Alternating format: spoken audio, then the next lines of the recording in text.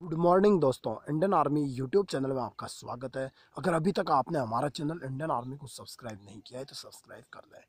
अगर कर रखा है तो धन्यवाद। दोस्तों, आज बात करते हैं इंडियन आर्मी का जो मेडिकल एग्जामिनेशन होता है, उससे पहले आप इन प्रमुख गलतियों को ना करें। दोस्तों, सबसे पहले तो आप अपने हाथ के जो पंजे में नाखून है दोस्तों, इसको अच्छे से साफ़ करवा के जाएँ।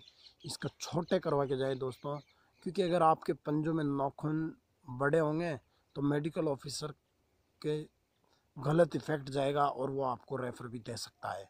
इस, इसके अलावा आप पंजों के नाखून को छोटा करवा के जाएँ और जिस दिन आपका मेडिकल होना हो, उससे एक दिन पहले अच्छे से आप नींद निकालो। अगर आप अच्छे से नींद नहीं निकालोगे तो आपके के लाल हो जाएगी। अगर आपके के लाल हो जाएगी तो आपको भोंगापन समझ के वो आपको आँखों में रेफर दे सकता है, पॉइंट दे सकता है। इसके अलावा आप नाकों में अगर आपके नाक में कहीं टेढ़ापन हो तो उसको अच्छे से यूँ करके जाए दोस्तों, नाक को अच्छे से। ये नाक की नस बहुत सौ की टेढ़ी होती है तो उसमें भी रेफर दिया जा सकता है तो अपनी नस को थोड़ा सही कर लें। और आपके जो दांतों में केविटी है, उसके लिए आप एक दिन पहले अच्छे से मंजन करके जाएँ, ताकि आपके दांत बिल्कुल सफ़ेद हो जाएँ। अगर आपके दांत पीले और लाल और बदे लगेंगे तो वो आपको रेफ़र भी दे सकता है। और अपने कानों में जो मड़ी वगैरह है, उसको निकाल लें। इसमें कोई नॉर्मल निकाल लें दोस्तों। ये नहीं कि आप मली निकाल, निकालने के चक्कर में अपने अंदर के जो कान में पर्दा होता है, उस पर्दे में आप कहीं चोट कर दो तो आपको पॉइंट आ सकता है। अपने कान को नॉर्मल दवाई डाल के और कम मेडिकल में मिल जाती है दोस्तों आसानी से। तो वो दवाई डाल के आसानी से वो साफ़ कर लें दोनों कानों को तो आपको पॉइंट नहीं आएगा। आप कानों को इतने ज़्यादा नहीं कर दें कि आपके कान में कहीं चोट का निशान आ जाए।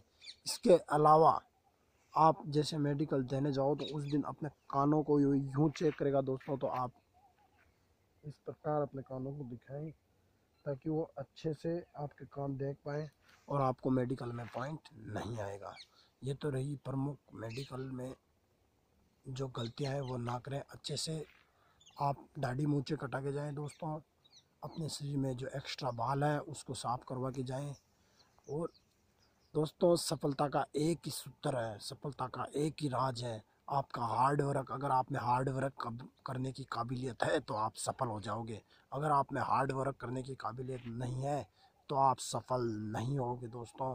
इसीलिए अपने आप को हार्ड वर्क करने की आदत डालो। हार्ड वर्क करना सीखो दोस्तों। बेस्ट ऑफ़ लक दोस्तों। जय हिंद, जय भारत। इंकलाब जिंदाबाद। भारत माता की जय। अगर अभी तक आपने हमारा चैनल हमारे चैनल को सब्सक्राइब नहीं किया है तो सब्सक्राइब कर लो। थैंक यू दोस्तों। जय हिंद, जय भारत।